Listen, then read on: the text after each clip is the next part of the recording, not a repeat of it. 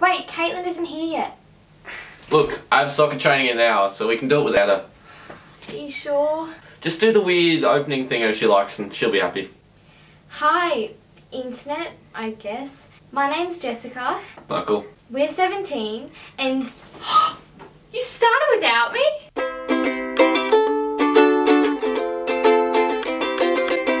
Jessica, just the girl I wanted to see.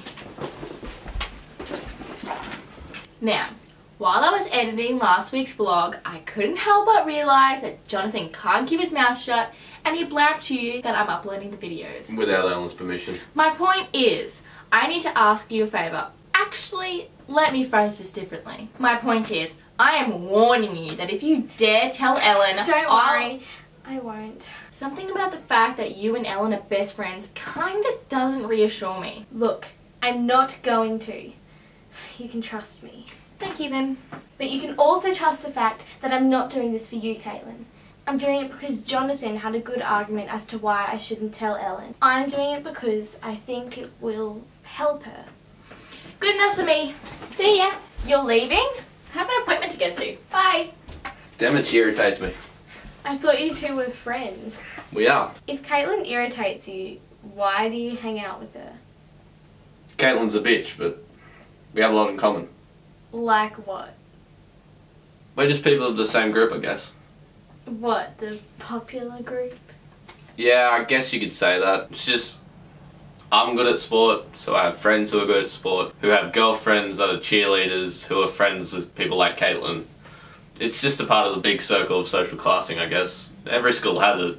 I've been to enough. You can always hang out with people that don't irritate you when you go to film school, though. It's not like normal school.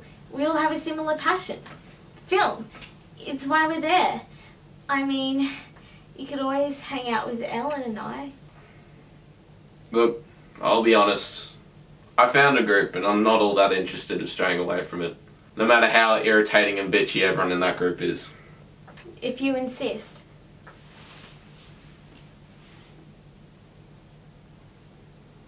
Oh, I was watching back the second video the other day.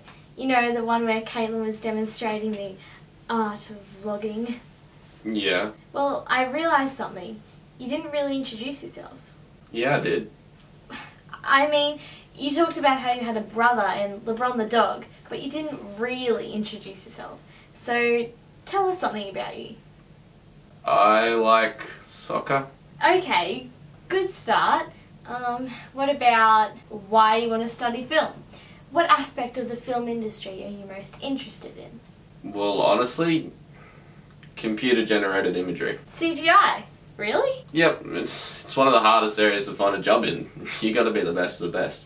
Well, are you any good at it? Give me a proper computer and good editing software, and I'll have a video up of aliens abducting your cat in minutes. You never really struck me as one who was good with computers. You'd be surprised. So, what about you? Why are you at film school?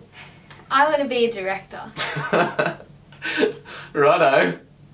What? You know, directors have to be people capable of bossing other people around, giving instructions, and blowing the top every time someone screws up. So? Jessica, if a fly landed on you, you would sooner stay dead still as not to disturb it, then swat it away. You're not the type of person to control other people. How do you know that?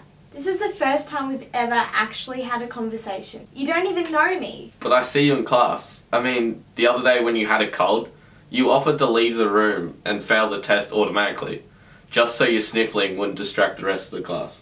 I was being considerate. You think that means I wouldn't make a good director? I think that means you're too nice to be a director. You're gonna be late for soccer, Michael. I think it's time for you to go.